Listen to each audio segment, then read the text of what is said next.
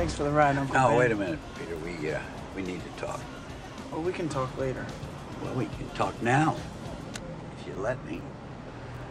What do we have to talk about? Why now? Because we haven't talked at all for so long. Your Aunt May and I don't even know who you are anymore. You shirk your chores. You, you have all those weird experiments in, in your in your room. You, you start fights at school. We I don't didn't know. start that fight. I told you that.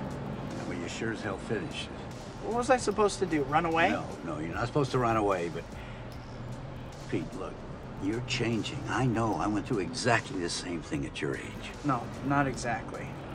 Peter, these are the years when a man changes into the man he's going to become the rest of his life. Just be careful who you change into. This guy, Flash Thompson, he probably deserved what happened. But just because you can beat him up doesn't give you the right to. Remember, with great power comes great responsibility. Are you afraid that I'm gonna turn into some kind of criminal?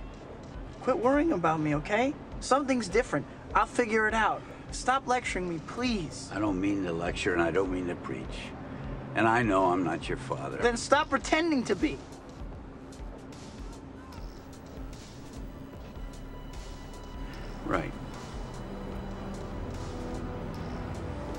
Pick you up here at 10.